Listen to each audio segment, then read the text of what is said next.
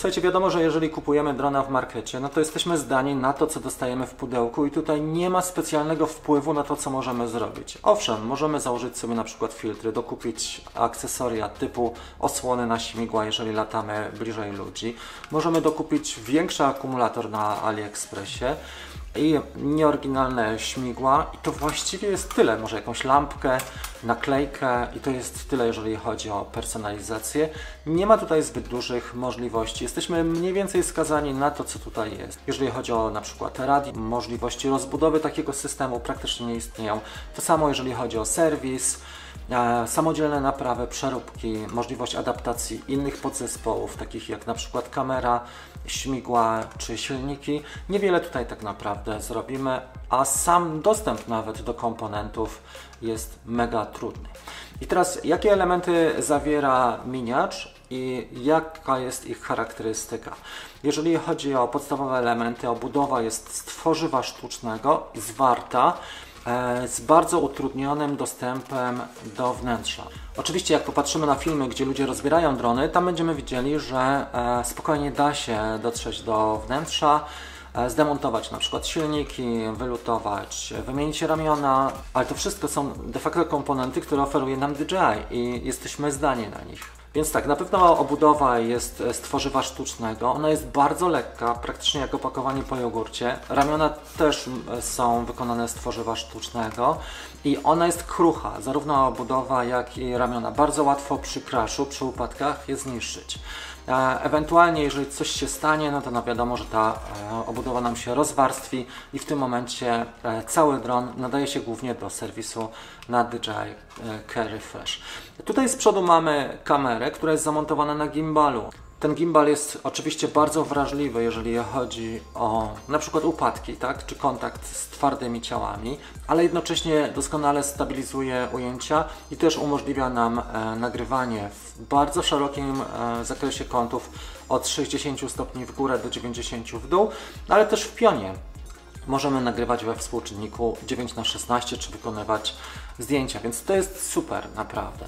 Jego wadą e, główną jest fakt, że nie za bardzo możemy sami wymienić e, tego typu rzeczy. Oczywiście jak się podszkolimy, jest to do zrobienia, bo możesz sobie kupić na AliExpressie dokładnie to samo albo zamiennik i wymienić, ale nie ma tutaj możliwości adaptacji innych komponentów. No i wiadomo, w przypadku e, crashu, e, innych problemów, zwykle trzeba takiego drona odesłać do serwisu, jeżeli coś się dzieje z kamerą, więc to jest ta podstawowa różnica. To, co widzimy tutaj z przodu, to są czujniki przednie. E, ten dron, akurat to jest Mini 3 Pro, zawiera też czujniki tylne i też ma system wizyjny na dole.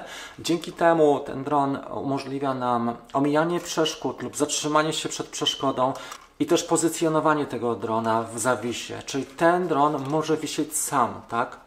Aczkolwiek ten system jest trochę jak w Tesli, tak? On usypia naszą czujność i niestety nie mobilizuje nas do tego, żebyśmy ćwiczyli, żebyśmy byli lepszymi pilotami i latali coraz lepiej. Po prostu tutaj loty wykonywane są e, liniowo.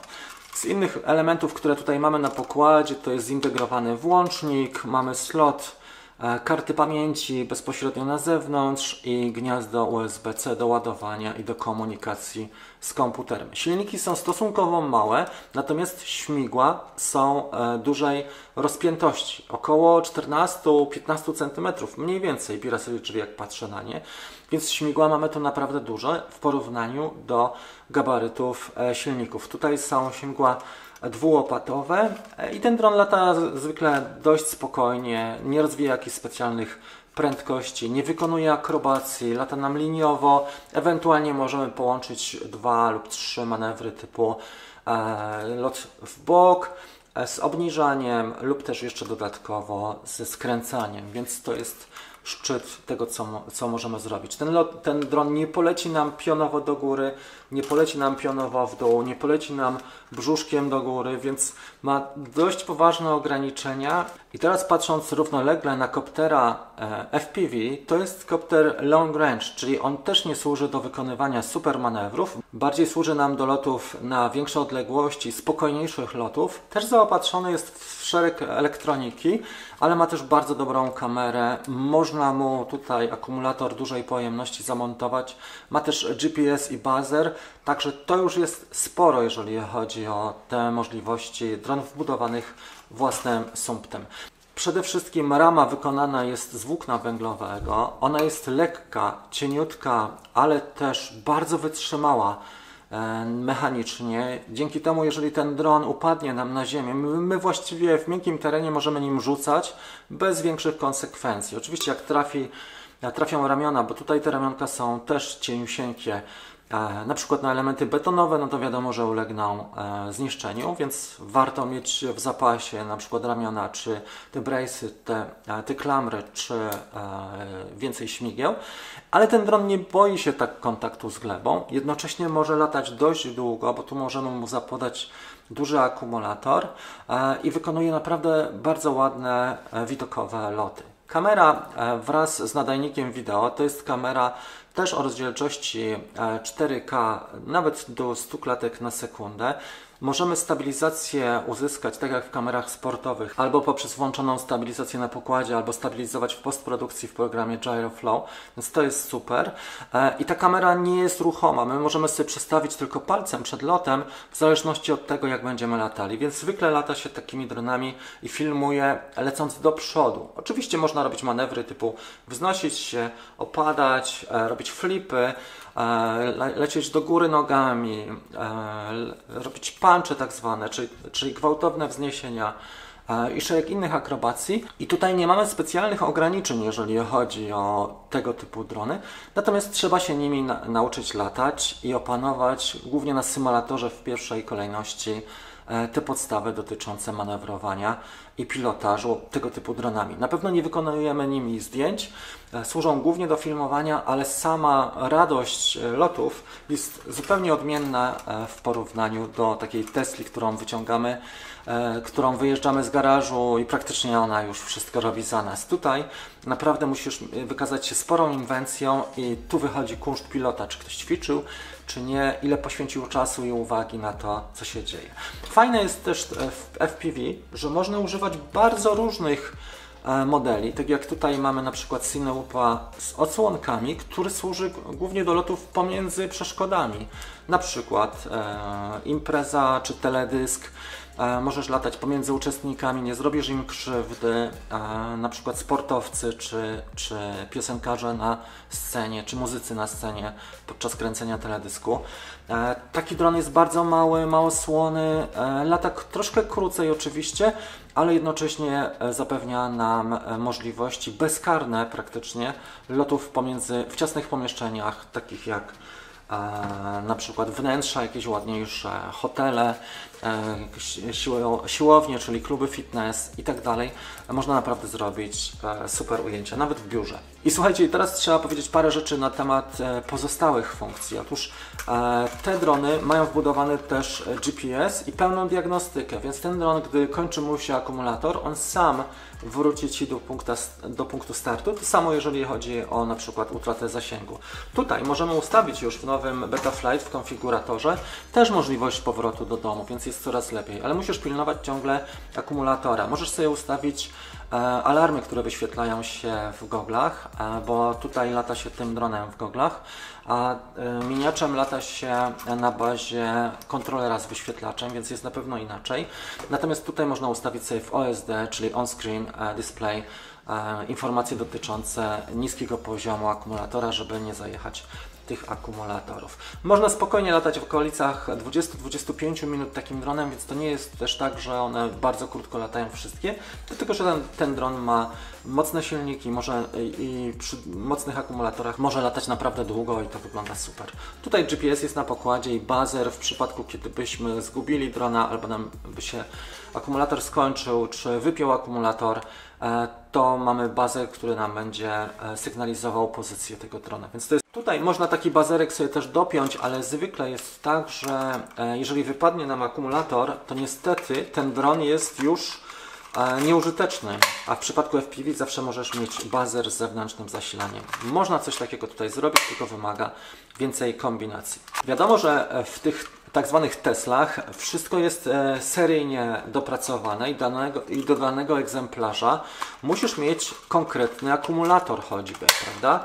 A w FPV super jest to, że na przykład do tej kładmuli możesz wpiąć akumulator na przykład 3S, 4S, taki jak ten, lub nawet 6S, czyli o napięciu ponad 20 V. To jest naprawdę super sprawa, bo możesz na wysokim napięciu latać i ten dron nagle e, dostaje super mocy.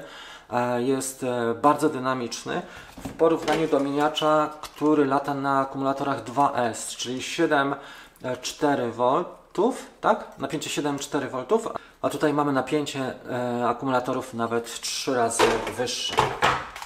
Oczywiście e, zaletą tego typu akumulatorów jest fakt, że one mają dużą pojemność, bo tutaj mamy ponad 2000 mAh, tu jest tylko 500 mAh, więc ten dron będzie latał e, na pewno krócej, tak? bo on będzie latał w okolicach 5-7 minut przy spokojnym locie. Jak zaczniemy go piłować, on będzie latał w okolicach 3-4 minut i to jest wszystko, więc akumulatory też mają bardzo duże znaczenie, jeżeli chodzi o sposób, w jaki latają, czas lotu i to jest też, i jeżeli chodzi o moc w ogóle e, samego koptera, akumulatory mają kluczowe znaczenie, więc jeżeli chcemy na przykład latać freestyle'owo, wykonywać dużo szybkich manewrów dynamicznych, no to trzeba latać na 6S, a jeżeli latamy sobie spokojnym cruisingiem, możesz latać na akumulatorach o niższym e, napięciu, tak jak w przypadku miniacza, ale większej pojemności.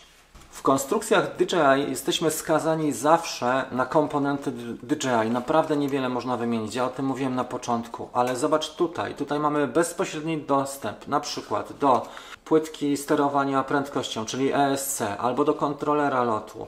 Mamy bezpośredni dostęp do kamery czy do e, VTX-u. I to wszystko możesz sobie wymienić i na przykład albo przełożyć do innego koptera, bo znudził mi się styl latania freestyle'owy, chcę polatać long range, albo jadę w taką miejscówkę na dwa tygodnie, gdzie lata się long range. Natomiast w przypadku miniaczy nie da się za bardzo adaptować e, systemów i one nie są w ogóle kompatybilne. Na przykład z R3 nie wykorzystamy nawet śmigła czy filtra a nie wykorzystujemy nic. Więc DJI de facto zmusza nas do tego, żebyśmy kupowali niezliczoną ilość akumulatorów, jeżeli zmieniamy systemy i całych akcesoriów.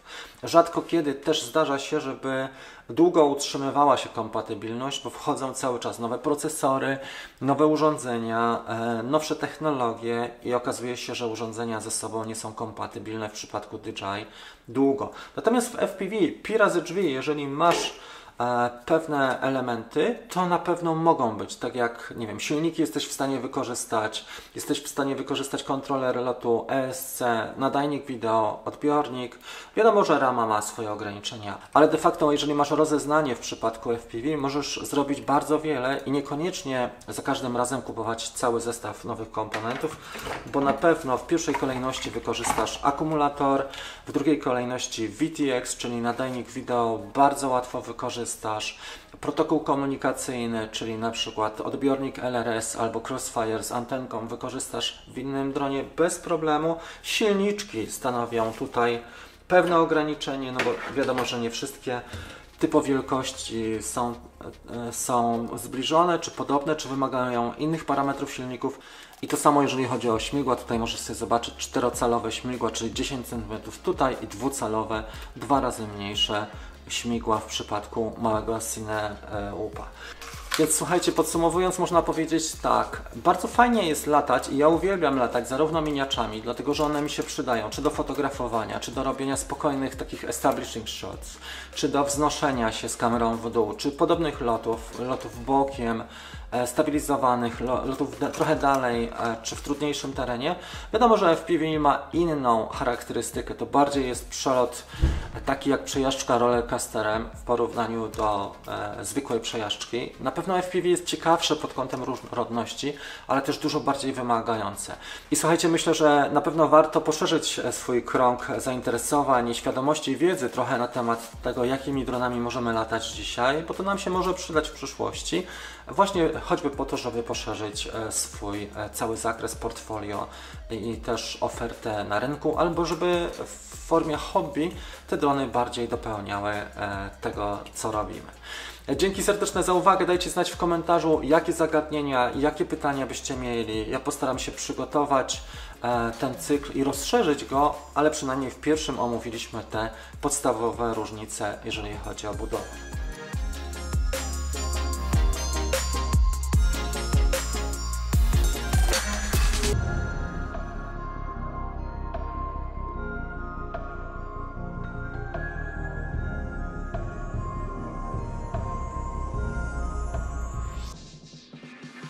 Inaczej, tak jak powiedziałem, warto zainwestować w siebie, bo ta inwestycja ci się na pewno zwróci i będzie na lata, na zawsze. Dron wiadomo traci na wartości. Jeżeli nie masz motywacji, no to nic, nic się nie zrobi, nawet kupując drona, który kosztuje, nie wiem, 100 tysięcy złotych, tak?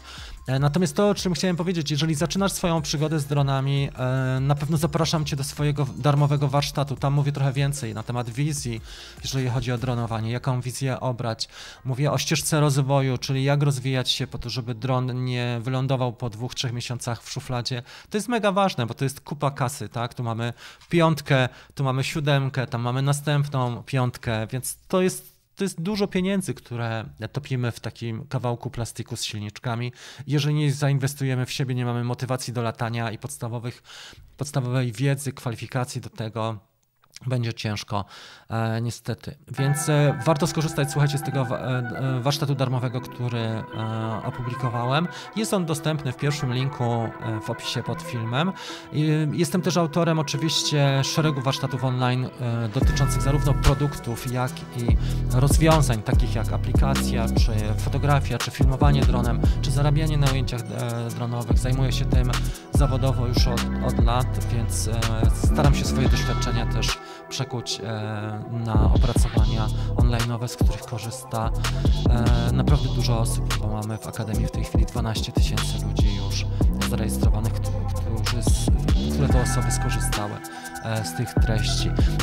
Jestem też autorem bestsellerowego opracowania na temat Mini 3 Pro i w tej chwili pracuję nad RM3. Już niedługo będą otwarte zapisy do tego warsztatu. Prowadzę też grupę rozwojową Team 250 gramów szczęścia, do której Was bardzo serdecznie zapraszam. Wszystkie linki znajdziecie w opisie e, pod filmem, a ja Was pozdrawiam i zapraszam już w sobotę na latającą kawkę na live o 9.30, gdzie odpowiadam na pytania w zakresie e, hobby i też e, witam Was co tydzień uśmiechem i świeżo zaparzoną kawą. Trzymajcie się, do zobaczenia, cześć! thank you